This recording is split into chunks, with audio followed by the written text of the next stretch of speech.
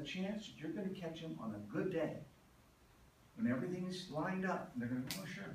I have a friend of mine, Howard, and I both have a mutual friend, his name is Larry Klein. Larry's produced the American Music Awards for, I think now, close to forty years. He worked for Dick Clark. I told this story this afternoon, but Larry got the job, he was a, a production assistant at Dick Clark Productions. You know, production, production assistant. And Dick was in an office, in, one of the offices, having a meltdown with the producer of the American Music Awards in one of the first years.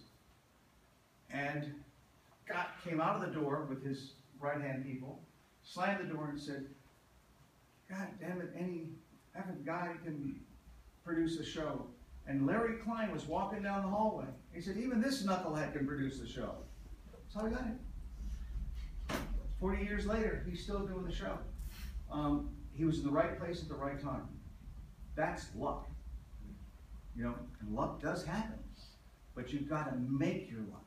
You've got to put yourself in that position. You know? Um, I told you success follows money. Money follows success. Never chase money, have money chase you. My papa always said that. Don't, don't chase after money, have money chase you. How do you do that? By being the best at what you do. Remember, you're going to have something else that's going to go along from today to the future. It's called a reputation.